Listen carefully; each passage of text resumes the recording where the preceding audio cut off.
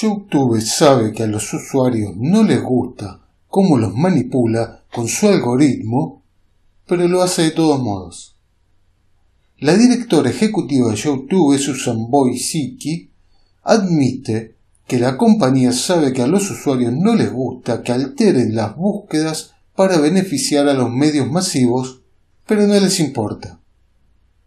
Desde hace muchos años la empresa adultera el funcionamiento de su motor de búsqueda para asegurarse de que los contenidos de creadores independientes no prevalezcan.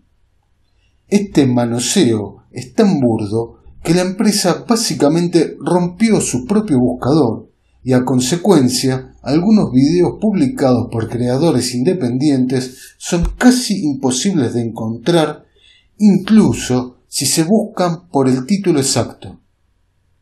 El cambio se realizó porque los medios dominantes estaban perdiendo audiencia frente a los creadores independientes a pesar del masivo respaldo financiero con el que cuentan. Desde que Boisiki tomó esta decisión, YouTube ha manipulado el algoritmo en favor de los medios dominantes hasta el punto de que ahora son diez veces más propensos a encabezar los resultados de búsquedas para algunas noticias, mientras que los creadores independientes ni siquiera son recomendados para las noticias de última hora. En ese orden se encuentra la actual política de remover cualquier contenido referente al virus de la corona que desafíe las pautas oficiales de la Organización Mundial de la Salud a pesar de que ya hayan sido modificadas varias veces.